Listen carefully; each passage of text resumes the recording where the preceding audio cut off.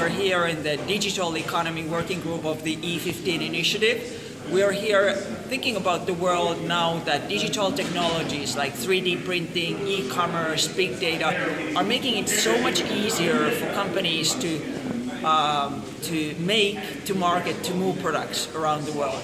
Uh, these are opening new opportunities, even for the smaller businesses, to engage in trade, opening countries tremendous opportunities to engage in exports, to um, um, advance entrepreneurship, and to promote inclusive trade. And this is what we all are, of course, uh, intended to generate uh, as we participate in the global trading system and certainly in this working group.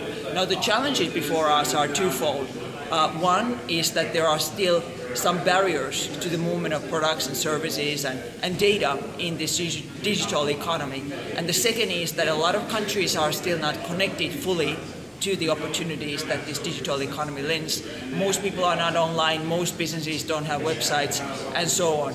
And so the challenges for us are looking at uh, trade policies, how trade policies can be uh, rebooted, if you will, for the, for the 21st century, particularly to enable the small companies around the world to engage in trade and, and profit and, and generate um, new, new profits and businesses and, and furthermore, to think about how trade facilitation, the tra breakthrough on trade facilitation agreement, can be applied to the digital economy, enable the trade of small businesses.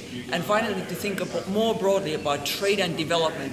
How can we go and bridge, finally bridge those digital divides that have uh, been around for 20 plus years, uh, but now how can we take these technologies, public-private partnerships, and actually go and bridge them in the interest of, of the global trading system and, and for all the small businesses to engage in, in the global economy.